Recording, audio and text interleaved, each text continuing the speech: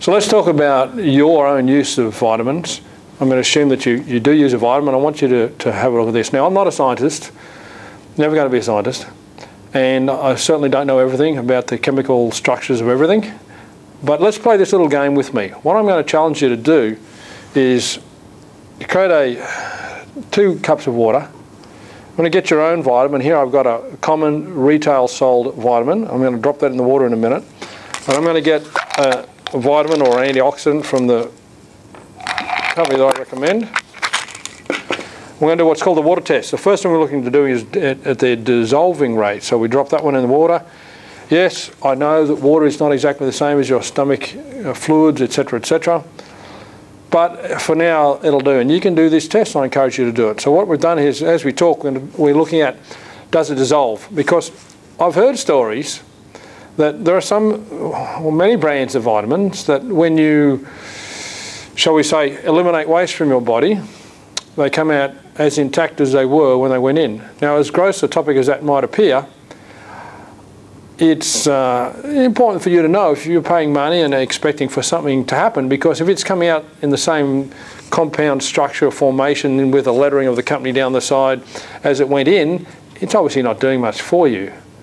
So whether it dissolves in its time in your body is a critical factor and one that I'm sure you've all assumed is occurring, but I can assure you don't make that assumption because it's not always as simple as that. In a few minutes time we'll look at how these two are dissolving. And I'll give you more specifics because we've done this before with these brands and obviously I'm not naming the brand. Now the next thing we're going to look at is their ability to act as what's called an antioxidant to protect your body from oxidization from free, from free radicals. Now this breakdown of cells occurs simply by being exposed to oxygen and pollutants make it worse, they exacerbate it. But simply breathing causes your body to be exposed to the oxidative process. Now you can liken the oxidative process to when you cut an apple and you, very, you see very quickly that the apple starts to discolour. Well, that's basically what's happening with our body. In fact, if you, you got to see the insides of a baby or a, or a new animal, a newly born animal, you can see how fresh and pink their internal uh, skin is. And obviously, as we age over the years of, of antioxidant uh, of oxidative processes, you can see the, the, the pinkness is lost from the skin, so to speak. So the antioxidant uh, aim is to protect your body from the free radical damage. Does it do that? The next step to do to assess how effective your vitamin is at providing an antioxidant role is to cut up a bit of apple, drop it in, cut up a bit of apple, drop it in, um, in the vitamin that you're comparing it to, and over the number of days assess it. Would you still want to eat that apple a few days later?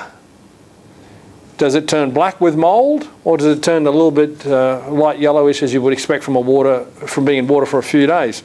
Now we've only able to do at this point in time the dissolving test, but I encourage you to do the apple test as well.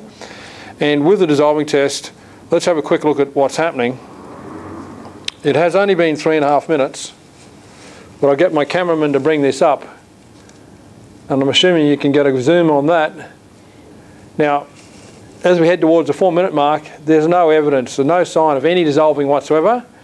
And we've done this test a number of times, and how many days did it usually take to dissolve? Never. Didn't dissolve, doesn't dissolve, just gets bigger. Okay, so this is a non-dissolving vitamin. okay, so at the four minute mark, the product I'm referring to, I'm just trying to get to the side a little bit so you can see it. And you're just starting to see the discoloration coming in the water. So the breakdown process has occurred. How's that angle? Is that working?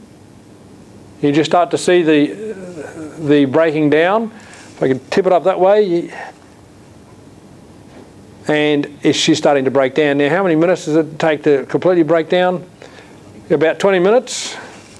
And so the timing of the breakdown is critical to ensure that it breaks down at the right point of time in the digestive system. Again, I'm not an expert, but I do know it needs to break down to be able to be used by your body. And we know this one does. Does the one you're taking break down? Why not do the water test?